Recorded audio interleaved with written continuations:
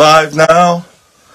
Um, at the Dandy House. I can't hear you at all, so let me take one Yeah. off. Yeah, we're live now at the Dandy House. This is Link Dandy Paranormal with the infamous Paul Kenyon in the infamous So now we're gonna Dandy do it all. closet in the master bedroom closet. We will be doing an Estes session for 15 to 30 minutes. Depends on how much he can take. Uh, sit back and enjoy. Uh, he is ready. He cannot hear. Can't hear nothing. Can't so hear what I'm I can saying. a blaring. So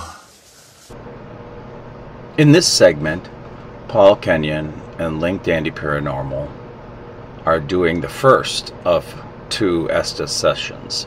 In this session, Paul Kenyon is in the hot seat and Link Dandy Paranormal is asking the questions. At least that's the way it's supposed to work. Link Dandy Paranormal ended up being questioned by the entities that Paul was transmitting. Paul and Link have always differed in their opinion of the paranormal, where Paul is the skeptic and Link has seen enough to know that the paranormal does indeed exist. so here we go. Wait a minute. Oh, wait. I'm going to stop Oh my right now. God! This is bull crap. Scaring me. You know how I feel about a lot of this stuff, but I Yes, I do. as soon as I pulled the blindfolds down, not because of that, Yeah. but I said all I heard was "Hey Link." Oh my! In the radio? no, in the Yeah. wall. Oh my God! Hey Link, I heard. "Hey Wow! Link," a male. And I didn't even. I didn't say that. that oh, was weird. Oh my God! Just scared me to death. We should be recording this. We are recording. Uh, well, you can't hear what I'm saying, so here I go. And I have no idea what you're doing, so okay. Um, we are at the infamous um, I was scared. Dandy House. Who's scared?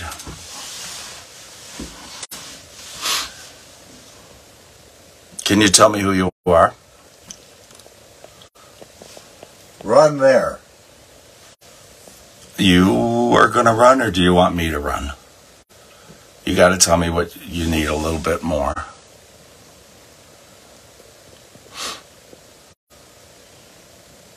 By the wall.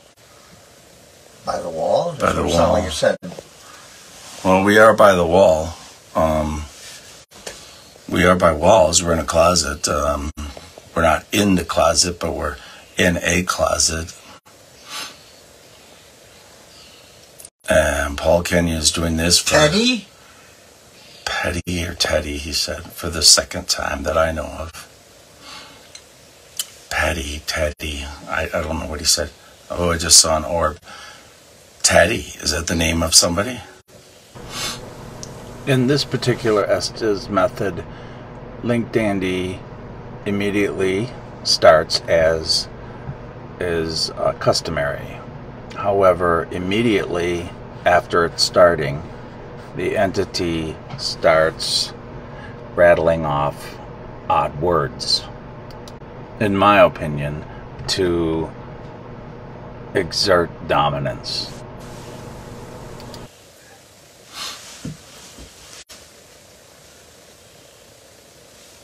Clipped. Clipped. clipped. Said it Clipped. twice. Clipped. Clipped. Hmm. Clipped. Come and get it. Come and get it. Oh, oh you're being tough on Female me. voice.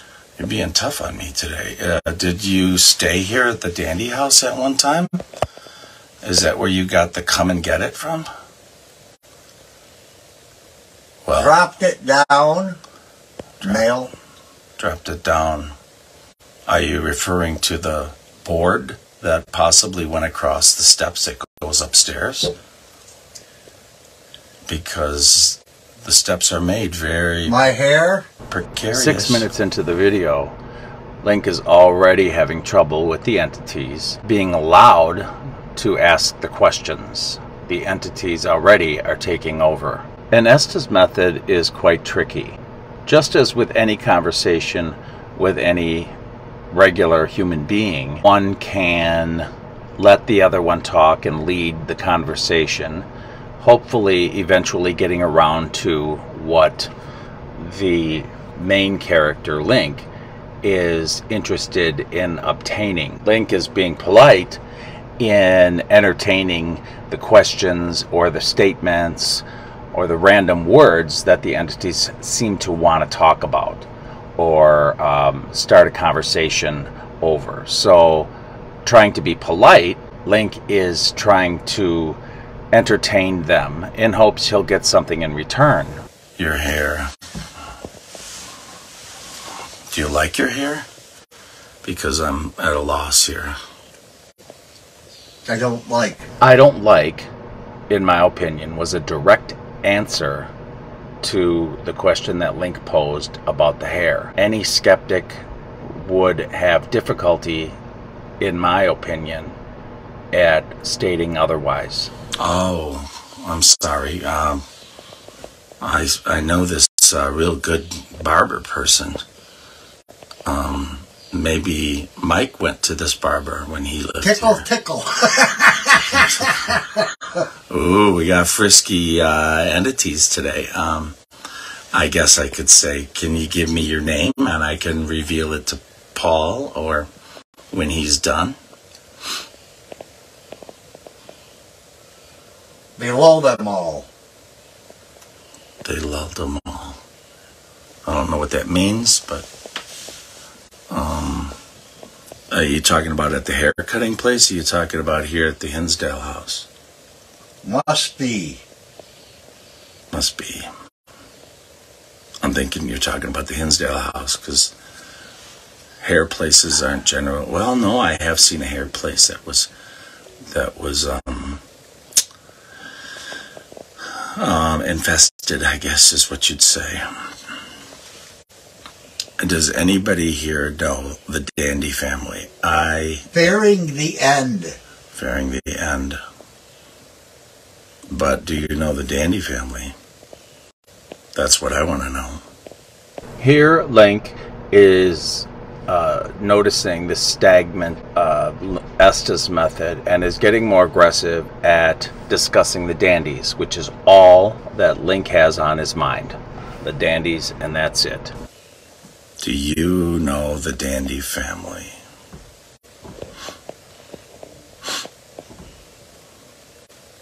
Prompted to leave. Are you saying you wanted uh, the Dandies to leave, so you prompted them to leave? Because they weren't very happy about what happened to them. I just heard the word Estes. Clear, clear Oh, as a my bell. God. Estes. Well, that stuff's not on the radio, so In the second segment that I did prior to the first one, I mentioned that the word Estes is never heard on the radio. That is not entirely true, as it is possible that there's a paranormal program running simultaneously with this Estes method being conducted at the haunted Hinsdale house. I don't believe it's likely, but it is possible. However, general radio stations would never use the word Estes. uh, they don't talk about He doesn't know. Who doesn't? Estes again. Who doesn't know? You want to tell me who you're referring to? Come along with us. What the? Well, I came all the way out here, and Paul came all the way over here. Maybe we could go along with you? You remember now.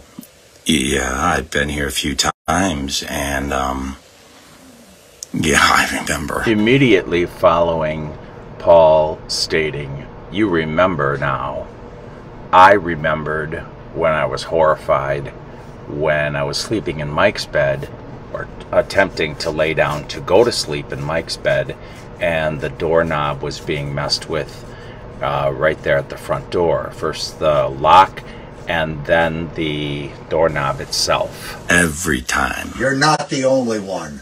Well, I, I'm not insinuating that I am. If you're talking, Link, But- stop for a moment. If you're, Okay. I don't know what's going on. I can't see or hear. I'm getting. Oh my God. I'm getting a one on. God, I hope he doesn't panic. And, My whole body is chilled right now. At this juncture, I am truly concerned that Paul is being harassed by his buddy that seems to have been there since the dandies. Um, and I did not want him to panic. I wanted to do everything that he, Paul, wanted me to do so that he could make heads or tails of what was going on with the entities that he was hearing. I don't want him to panic. Come again? I said I don't. Get out? I have another day here, and I'm keeping it. You're not pushing me. out. Understand. Understand. Sound like you said understand, Nick. Nick.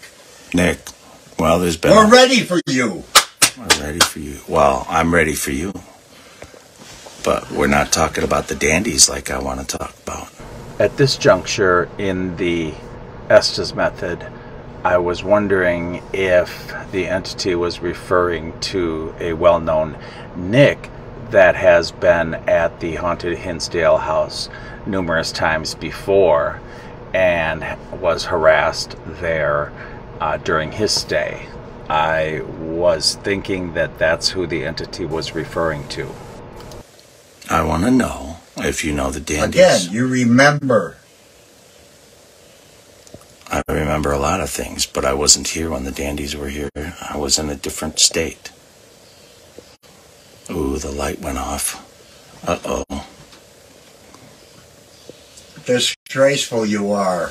Oh, Disgraceful. Well, that's a thing to say. I wonder why that light Am went I off. getting responses directly from the thing that doesn't like me? I'm going to move forward a little bit. Better no. Better know. Ah. I didn't hear that. Say it again. Say it again. If that was a threat, say it again. At this juncture, I realized that neither myself nor Paul was in charge of this Estes method.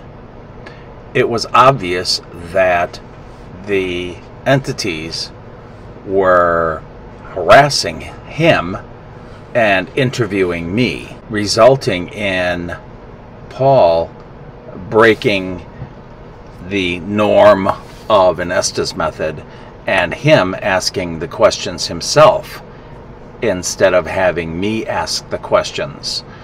The entities, I believe, are so hateful at times that they like to control what's going on and change everything up from how it is supposed to be or is usually conducted. You heard. Lift up. Lift up. What? In a very strong lift up. That lift up business, I believe, in my opinion, was the entities trying to get Paul to get out or stand up and get out, but but they use the word lift up, which could be used in place of stand up and get out. That is what I was thinking was going on between Paul and the entities at this juncture. So, No, I'm not leaving. men and ladies, whoever's talking, Come forward and, and meet me halfway. I want to talk about the dandies. Are you going to entertain me? Why be present? The words, why be present, I was thinking when I was in the chair asking the questions, was the entities asking Paul. Uh, in other words, uh, that they wanted him to leave, and why be present um, is a uh, reasonable uh, conversation uh, verbiage that they are asking Paul, well, what do you need to be here for? That's what I was thinking when I was sitting in the chair, witnessing what I was seeing. Um, That's, that's the way it should be. I'm present. No dirty pants. I was thinking that they were referring to Paul, but I answered uh, regarding myself as though they were or could have been referring to me. Um, not being sure that they were talking about Paul or me, I did answer that as though they were referring to me. Dirty pants. Uh, oh my God. Uh, he's got the fun ones today. I'll slap you. Ooh. Ah, he's got the fun ones today that I had a couple years ago. Notice the violence that the entity has no problem um, exhibiting uh, via verbiage um, with the words, I'll slap you, which may sound funny at the time, but is very serious um, given the experiences that Paul himself has experienced at uh, the haunted Hinsdale house uh, numerous times, um, verbally and physically, uh, having been abused. So, in theory, that comment wasn't funny, it was very threatening. Can you please go? No.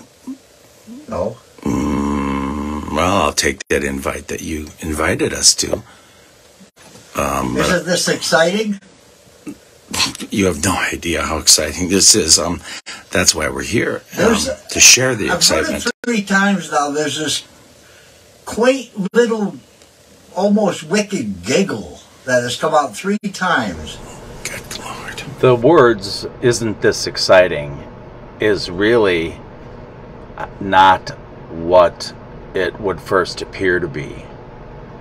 I believed when I was sitting there listening to what Paul was saying uh, that, again, this was threatening um, him or myself, either one, or both at the same time.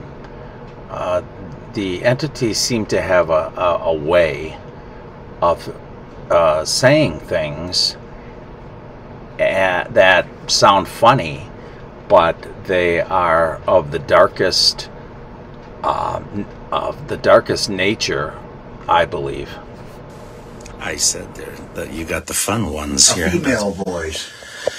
Yeah, I had some fun ones last couple of times. You ago. better move it, Well, I'm sitting right here. If you bastard.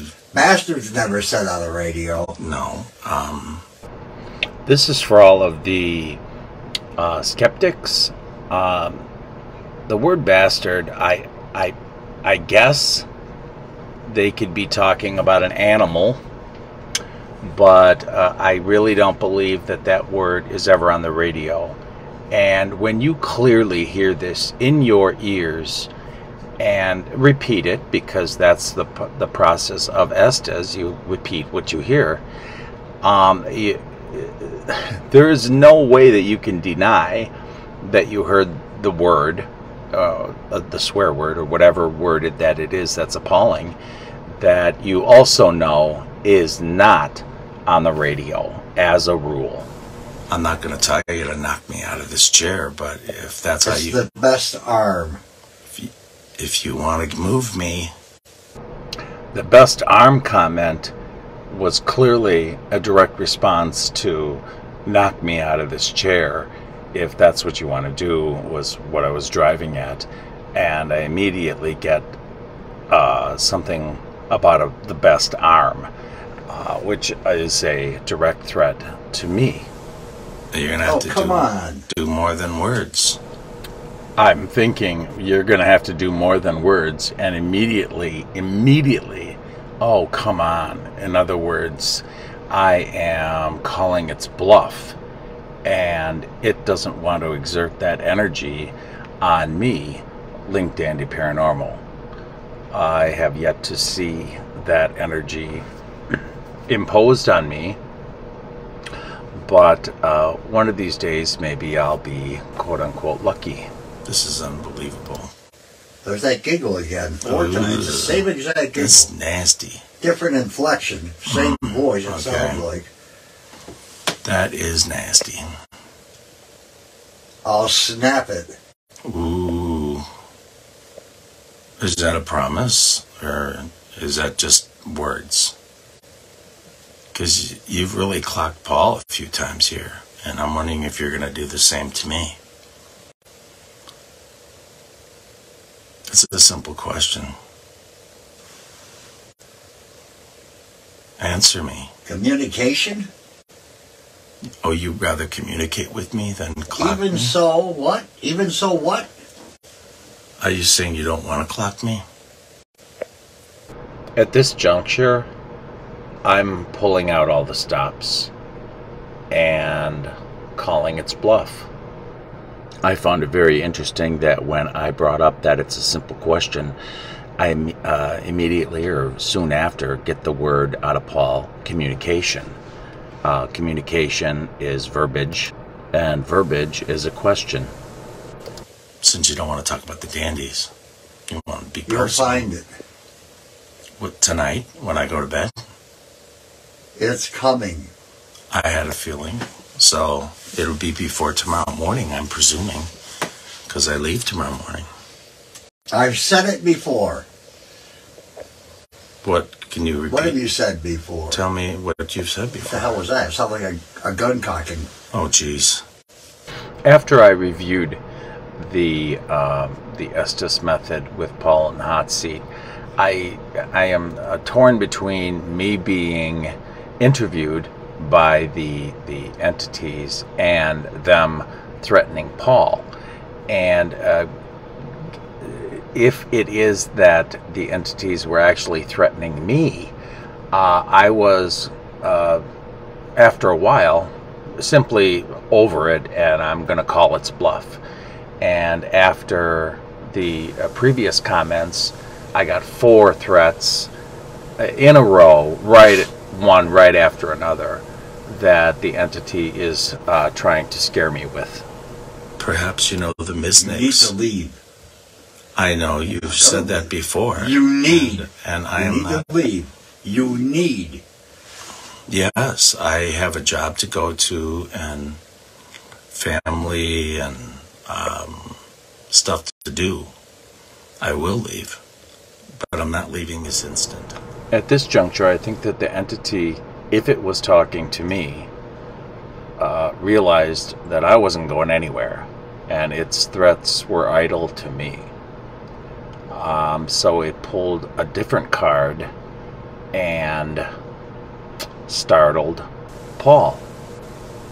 All right, that's the last one I'm going to hear. Oh, oh gosh. Okay. No, I just heard I'll kill her. In conclusion, this Estes method seemed to only have one nasty entity, uh, with the inclusion of the, the girls giggling and laughing, which could have been uh, a malicious laugh and not um, of, of joy and being funny. Uh, the bottom line is uh, we succeeded and the entity lost this time. Okay. Uh, this concludes our Estes method here at the Haunted Hinsdale House with Paul Kenyon. Uh, I will be here, Link Dandy Paranormal, for one more night, and I hope that you do uh, tune in for us. So thank you for watching.